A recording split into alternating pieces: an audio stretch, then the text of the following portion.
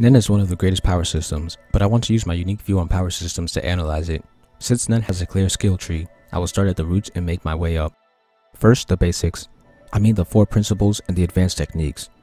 I've mentioned this before, but I think it is sort of a drawback. These basic moves are learnable for any Nen user. This becomes a problem because moves as simple as these could be characters' unique Hatsu, but instead are made available for everyone. I think this not only eliminates potential Hatsu, but also potential battle situations. First, potential Hatsu. Ko and Ryu are the best examples. These two advanced techniques are basically the same as most enhancers Hatsu, so what's the point of being an enhancer when you can learn these moves and get mostly the same effect?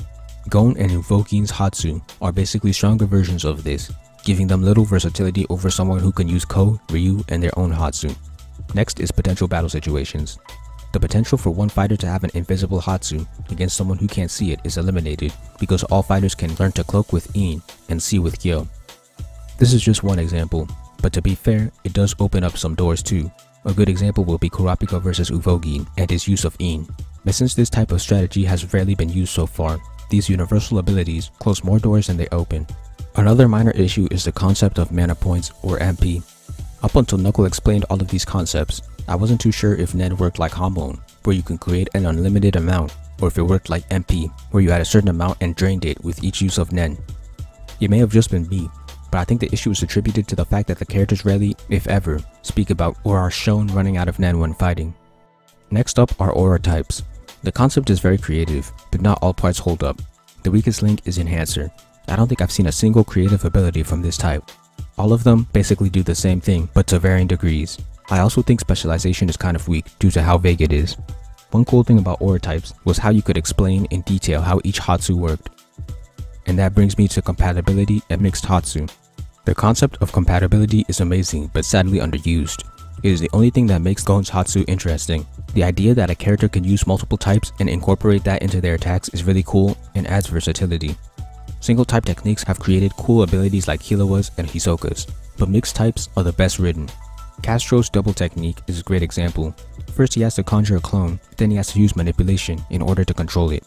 Morel's purple haze has him transmuting his aura into smoke, and then manipulating it into different forms. Knuckles Hatsu emits a mascot that can manipulate his target's Nen. Shoot can conjure a bird cage and use manipulation to trap touched body parts inside of it. With just one type, techniques of the same category start to look the same, but when multiple types are involved, the process behind the move becomes so complex and intricate. There are a few reasons why I say it's underused. The first and most obvious is that not many characters have multiple types, much less techniques with multiple types. Even our two main characters rarely use this. Killua only has transmutation, and Gon only used scissors and paper a few times. He has still yet to mix two or more types into one attack. The second reason I say it is underused is because of the amount of Hatsu that could classify as multi-typed, but aren't. Razor's 14 Devils, Goreinu's Gorillas, Netero's Statue, and Killua's Godspeed are just a few examples of abilities that only have one type but should have at least two when you use the logic of how abilities are constructed in Hunter Hunter. The third reason I say this is because the surface of his potential is only being scratched. The most types in one move has been 3, even though there are 5 available types for all users. Also this ties back to why I think specialization is weak. You can't understand or predict how a Hatsu under this type would be created which means that it also can't be used in multi-typed moves. Now for weaknesses. The first is, like chakra, the balancing of certain techniques down the line. I've already gone into detail on those in separate videos, so I won't repeat myself, but I will throw Netero and Finks into the unbalanced category. My next problem is the amount of weakly written abilities. With all the creative foundations laid out, I'd expect most of the powers to be stand levels of creative, there are some really creative ones, but there are also some unbelievably lame ones. Nearly every enhancer attack is lame, but there are also lame attacks outside of this category. Silva's Hatsu allows him to basically shoot ki blasts, and Zeno can make a small dragon out of his aura. Razor can throw an aura ball, like a ki blast. In the case of Razor, he at least has another ability, but characters in Hunter x Hunter not only have a limited amount of moves, usually maxing around 3, but it takes thought to create even the simplest of moves, so for such lame abilities to be created is a hindrance. Stands have their fair share of lame abilities, but there are also significantly more creative abilities than not. Hunter Hunter doesn't have that many Hatsu yet, so having powers like these take up space is a stain in my opinion. Other weak abilities include Ranmats, Saraso, and Blasters. My last problem is Nen getting stronger after death.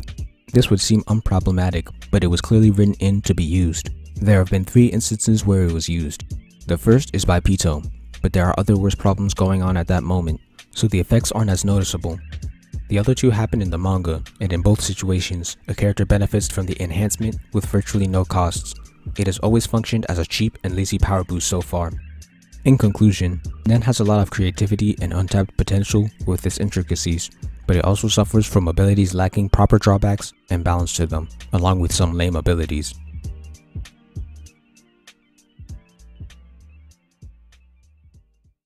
Thank you for watching. Please like, comment, share, subscribe, and check out my manga for free online. If you enjoy my content, please consider donating to my Patreon. All important links will be in the description.